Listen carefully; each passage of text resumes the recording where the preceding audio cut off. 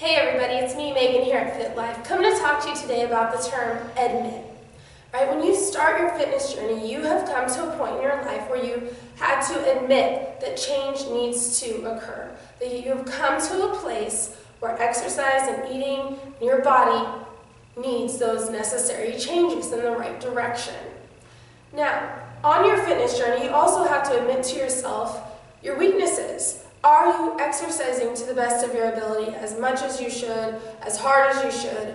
Are you making proper food choices, right? We have to admit to ourselves along the way and be honest because being honest sets us up for the sustainable results, the long-term success, right? When we're not honest and we're not admitting what it is that we're doing, then we're only fooling ourselves and cheating ourselves, right?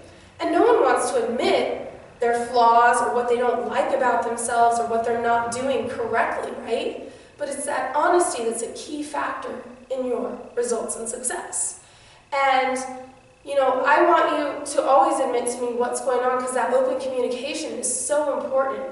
And standing in front of me and being vulnerable and telling me those things, I mean, that's tough. And if you have to write it down, then do so. But be honest. Be honest about the changes you're trying to make because no one said it's going to be easy. No one said it's going to be easy and that, that you're going to be perfect along the way. But admit when you stumble because that gets you better back on track. All right? So, have a great day, be honest with yourself, and admit what needs to change and then make those changes happen. Have a great day. Thank you.